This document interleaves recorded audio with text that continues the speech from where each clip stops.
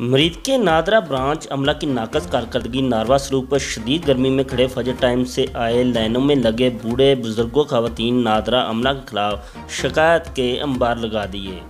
मरीतिया से हमारे नुमाइंदे सज्जाद भट्टी के मुताबिक कई कई दिनों से चक्कर लगाते शहरी रुल गए पर काम ना हुए। गंदे पानी का इंतज़ाम ना बाहर बैठने की जगह न कोरोना एस पर अमल दरामद।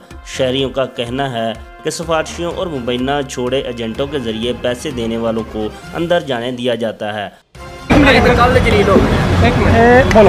ਕੱਲ ਹੋ ਦੇ ਭਾਜੀ ਯਾਰ ਸਾਰੇ ਲੋਕ ਲੈ ਹੋ ਗਏ। ਸਵੇਰ 6 ਵਜੇ ਤੋਂ ਲੈ ਕੇ ਕੱਲ 2 3:30 ਵਜੇ ਤੱਕ ਬੈਠੇ ਰਹੇ ਆ ਸਾਡੇ ਟੋਕਨ ਨੰਬਰ ਸਿਫਾਰਿਸ਼ ਵਾਲੇ ਵਿੱਚ ਕੰਮ ਚੱਲਣ ਡਿਆ।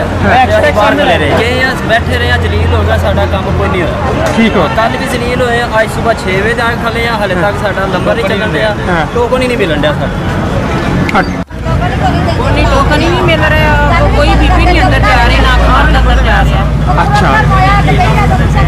फार्म और शनाख्ती कार्ड बिला वजह कैंसिल कर दिया जाता है और चक्कर लगवाए जाते हैं। कोई सुनने वाला नहीं। अमला के नारवा सलूक ने परेशान कर दिया है।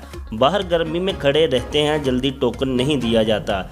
शहरियों ने वज़ी अजम पाकिस्तान इमरान खान से फौरी नोटिस लेने और कार्रवाई करने का मुतालबा किया है।